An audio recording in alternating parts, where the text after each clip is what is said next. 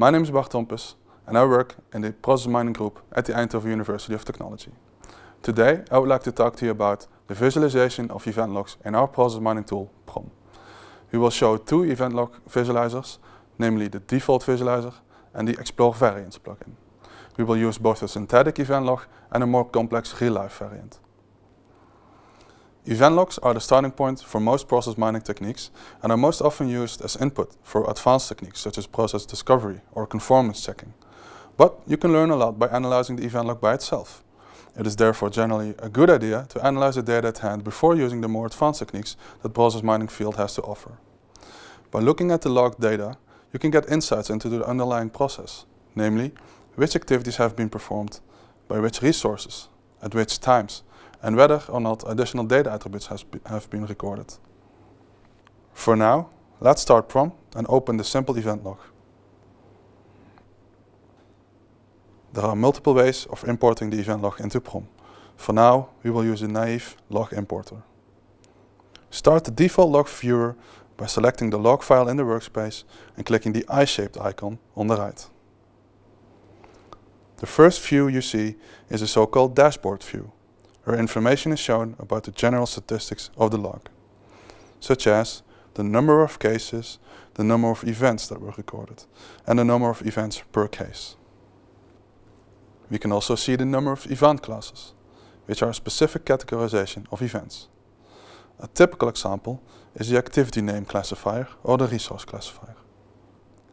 From the distribution of events per case, you can get an idea on how complex the event log, or rather the process it records, is. In other words, whether there's a lot of variability or not. As we can see, for this simple event log, most cases have around 11 events, whereas some have up to 24. The fact that there are only a few possible values might indicate a structured process. On the right, we can see the timestamps of the first and last events in the event log. The dashboard is only the first of three main views of the data, so let's look at the others as well. The second view is a so-called inspector. The inspector view is divided into three different tabs. In the first one, the browser tab, we can browse the individual cases to see which events and possibly data attributes were recorded. Cases are listed in the left column. When clicked, all events of the selected case are shown chronologically. Default event data such as activity name, timestamp and resource information is shown here. Also, case-wide data attributes are shown on the right side of the screen. When an event is clicked, data attributes belonging to that specific event are shown. We will discuss this Explorer tab later, but first let's go to the Log Attributes tab. The Log Attributes tab shows the structure of the event log, what information is present in the log on the case or event level. Attributes can be clicked to inspect the different values they hold in the log. The third view on the left side of the screen shows a summary of the event log. Absolute and relative frequencies are shown for each event class, for each event classifier. Events that occur as the first and or last event in a case are listed separately as well. Here, we can quickly find activities that are very frequent or do not occur often.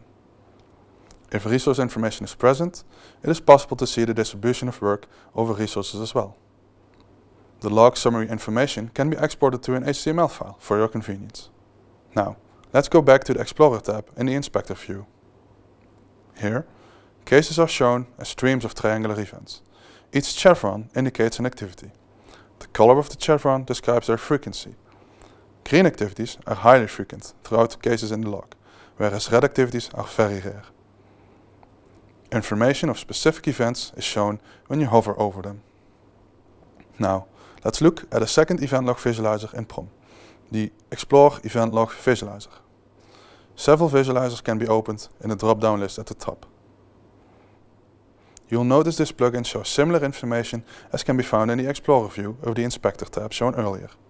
In this visualizer, however, individual cases are grouped with cases that share the same sequence of activities. We can find information on the frequency of these so-called process variants and can inspect the individual events that occurred in these cases. Again, activities have a unique color, so repeated activities and patterns can be spotted quickly. Also, Variants can be sorted based on their frequency, their length or their prefix, or a combination.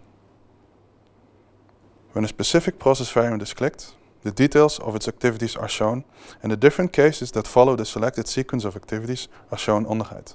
An advanced filter is available to filter cases based on case or event attributes. When a specific case is selected, the timestamp of the events are shown and attribute values of the case are plotted below the events. At the bottom, the type and the value of all attributes associated with the case are listed. Now we know how the information in the event log is presented, let's look at a real-life event log and how we would answer typical business questions with the use of these two event log visualizers.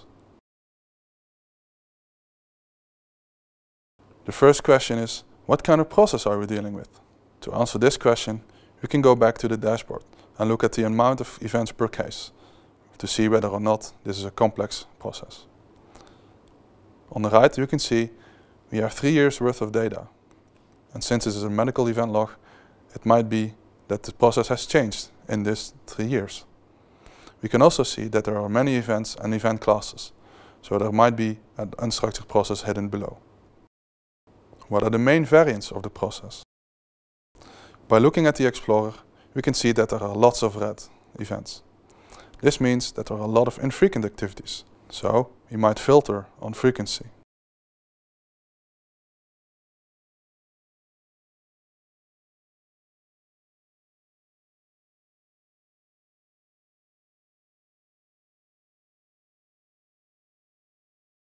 Looking at the Explore Event Log plugin, we can see that most variants only have one or two cases. This implies that most cases follow a unique path through the process.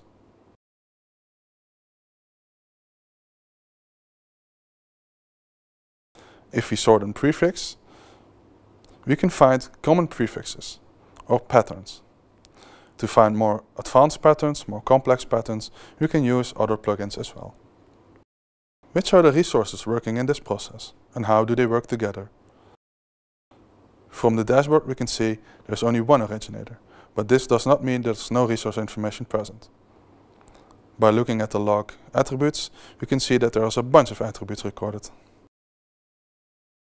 So, this implies that we can look at the process from different perspectives. We might filter to look only at cases containing specific case or event attributes. We can see that we do have department information, so we might use other techniques to make a social network. We can view the process from the viewpoint of a specific department or resource. We can filter in or out only activities executed in a specific department. Thanks for watching. I hope you now have an idea on how to answer simple business questions using the log visualizers in PROM. For the more advanced process mining techniques, you can have a look at our other videos in this series.